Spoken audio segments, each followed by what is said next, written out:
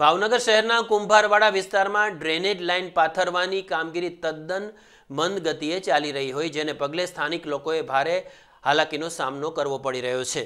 છેલ્લા પંદર દિવસથી શરૂ કરાયેલી કામગીરીમાં અસહ્ય વિલંબથી દરરોજ નાના મોટા અકસ્માતો સર્જાઈ રહ્યા છે.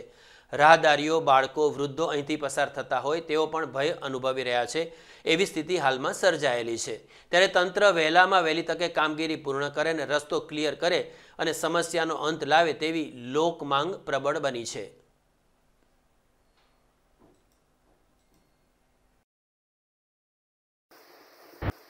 કુંભારવાળા રોહિત મિલવાળા ખાચો.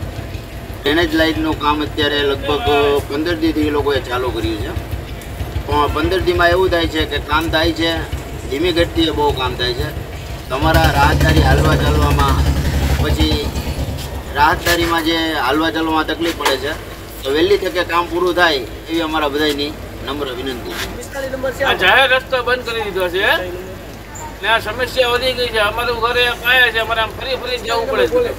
કયો વિસ્તાર આ કુંભારવાળા વિસ્તાર છે. આ પંદર દિવસ તો એક ઘરું ખાડા કરેલા છે. બરાબર. છોકરાને મોકલ